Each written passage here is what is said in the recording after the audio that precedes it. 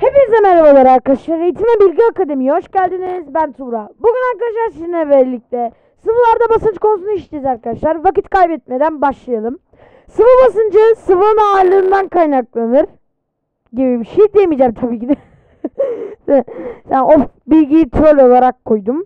Ee, öyle troll olarak konuldu. Sıvının ağırlığından değildir. Yüksekliğindendir. evet. Ee, sıvı akışkan olduğu için kabın sadece tabanına değil temas ettiği bütün yüzeylere etki eder. Sıvı basıncı sıvının derinliği ile doğru orantılıdır. Derinlik fazlaysa buradaki derinlik yükseklik anlamındaki derinliktir.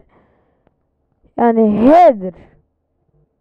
Derinlik hani normal şekillerde geometrideki şu üç yönden olan derinlik değildir e, buradaki yükseklik anlamındaki derinliktir. Yani yükseklik bakın buradaki basınç buradakinden daha fazla. Niye? Çünkü yüksekliği fazla. Buradaki sıvı yüksekliği. Evet zaten burada da diyor. Sıvı cinsi aynı olmak şartıyla sıvının derinliği arttıkça sıvı basıncı artar. Yani A noktasına uygulanan sıvı basıncı B noktasına uygulanandan daha büyüktür arkadaşlar. Sıvı basıncı sıvının yoğunluğu ile doğru orantılıdır. Şimdi sıvı derinliği aynı olmak şartıyla yoğunlukları farklı iki sıvı koyuyoruz. Civa sudan daha yakın şey civa sudan daha büyük. Ne bakımından? Yoğunluk bakımından civa sudan daha büyüktür. Ee, sıvı basıncı artar. Bakın civanın aynı derinlikteki noktalardan civadaki noktanın sıvı basıncı daha fazla, sudakinin daha azdır. Arkadaşlar sıvılar yer çekimi ile de doğru orantılıdır. Fakat bu pek e, e, bize sor, sınavlarda soru olarak gelmeyecek. E, yer çekimi ile de bağlantılıdır. Hani ağırlık da buna dayanarak aslında. Birazcık troll bir bilgi. Ama ağırlık olarak da dayanılabilir. Fakat suyun kütlesine bağlı değildir. Ee, suyun zaten hacmi olur. Kütlesi olmaz. Pardon. ikisi de olur. Neyse. Sıvı basıncının bağlı olmadığı faktörler. Eğer arkadaşlar aynı yükseklikte ise şu sıvılar bakın şuradaki aynı yükseklik olduğundan sıvı basınçları eşittir. Şimdi ben bir tane sıvıyı gideyim şöyle bir kaba koyayım. Bir tanesini gidip şöyle bir kaba koyayım. Ve bir tanesinde şöyle bir kaba koy şöyle bir kaba koyayım. Şimdi rastgele pardon şöyle bir kaba koyayım bunu da ve böyle bir sıvıyı da şöyle bir kaba koyayım. Şimdi arkadaşlar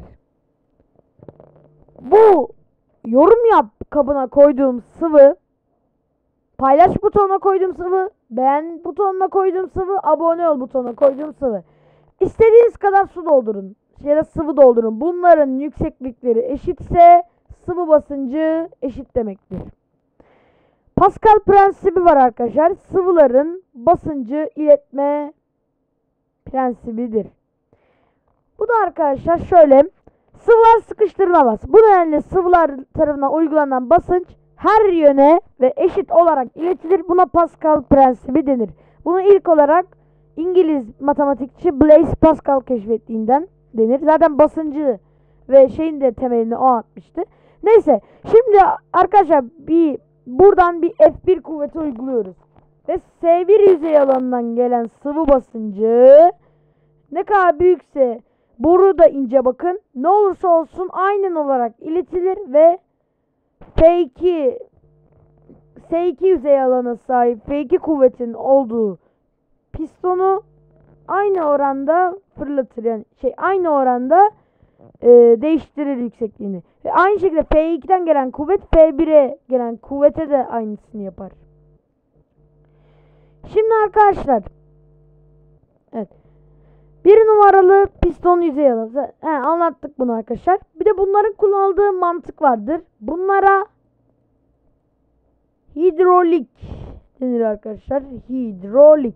Hidrolik denir bunlara arkadaşlar. Hidrolik hidrosu demektir. İlk olarak suyla yapılıyordu fakat şimdi hidrolik yağ kullanılıyor. Yani aslında hidro su da değil. Sıvı demek hidrolik yağ kullanılır ve böylece indirilir. Şimdi diyeceksiniz ki niye yağ? Yağ dokunca zaten bir hidrolik eliniz yağ olur vıcık vıcık. Hidroliklere neden yağ konuyor? Bir geç ısındığından, çabuk kaydığından, yani çabuk bitse bile çok iş gördüğünden. Ee, F1 F2'den büyük olsa bile yine basınç aynen iletiliyor. Şimdi bu Pascal prensibinin uygulanma alanları. Kısaca hidroliklerin. Bileşik kaplar bu deneme yani bu deneyler için hani bazı bileşik kaplar da var. Hidrolik fren sistemleri, tulumbalar, berber koltukları, itfaiye merdivenleri ve ilaçlama pompalarında kullanılır. Evet arkadaşlar bu video böyleydi. Beğenmeyi, like atmayı, yani like atmayı, abo- kanala abone olmayı, yorum yapıp paylaşmayı unutmayın arkadaşlar. Başka bir videoda görüşmek üzere. Hoşçakalın.